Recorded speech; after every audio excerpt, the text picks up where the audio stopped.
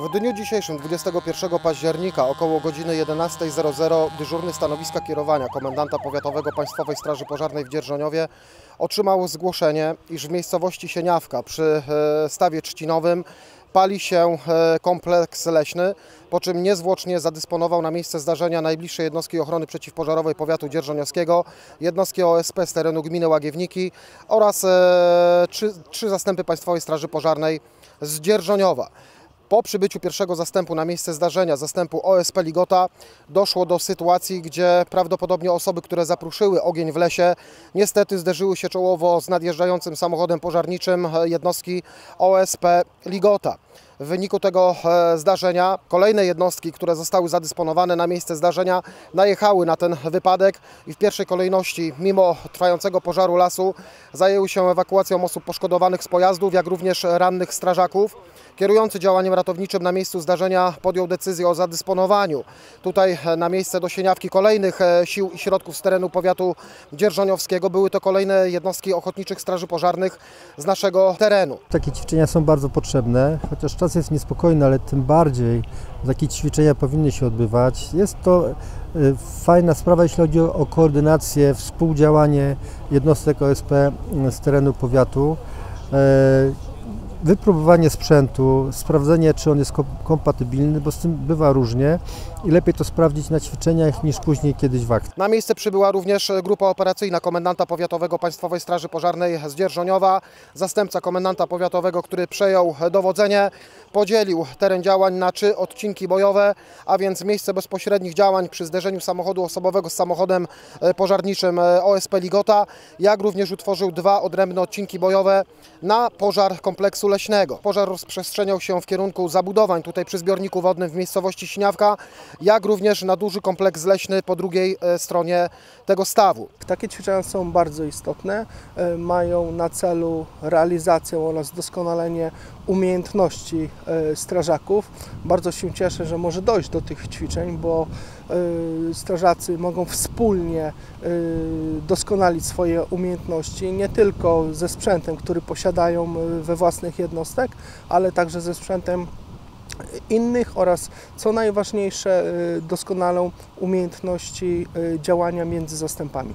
Obecnie e, działania na miejscu jeszcze trwają. Bierze w nich udział 12 zastępów ochotniczych straży pożarnych z terenu powiatu dzierżoniowskiego, e, cztery zastępy Państwowej Straży Pożarnej z Dzierżoniowa. Na miejscu pracuje również policja i pogotowie ratunkowe. Powołany został sztab celem pomocy tutaj e, kierowania działaniami ratowniczo-gaśniczymi dla kierującego działaniem na miejscu zdarzenia. Działania są w różnych warunkach o, o różnym poziomie trudności. Dlatego też e, jest to dzisiaj w Sieniawce, e, w miejscu nie do końca znanym przez strażaków z innych zakątków powiatu, także zapoznają się i z tym miejscem, i z różnymi warunkami prowadzenia akcji ratowniczych. Z racji tego, iż są to ćwiczenia e, powiatowe, oczywiście zawsze tutaj e, informujemy Powiatowe Centrum Zarządzania Kryzysowego, które również e, na tych ćwiczeniach jest obecne, przedstawiciele pozostałych służb, komendant powiatowy policji, dyrektor aresztu śledczego, przedstawiciele pogotowia ratunkowego tutaj na miejscu zdarzenia, jak również nasi lokalni włodarze. Wójt gminy Łagiewniki, na którego terenie odbywają się te ćwiczenia powiatowe w tym roku, wójt gminy Dzierżoniów, z której to jednostki praktycznie poza gminą Łagiewniki największe siły i środki zostały zaangażowane tutaj w te e, ćwiczenia, jak również inni zaproszeni goście.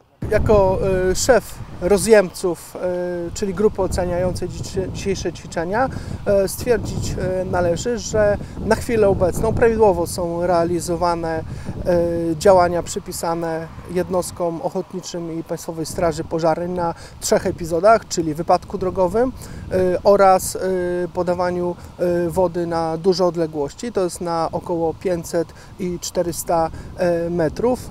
Za mną w chwili obecnej strażacy realizują y, działania, których celem jest podanie czterech y, prądów y, gaśniczych na źródło pożaru w lesie. Nie mamy się czego wstydzić, to są już w tej chwili wozy z górnych półek.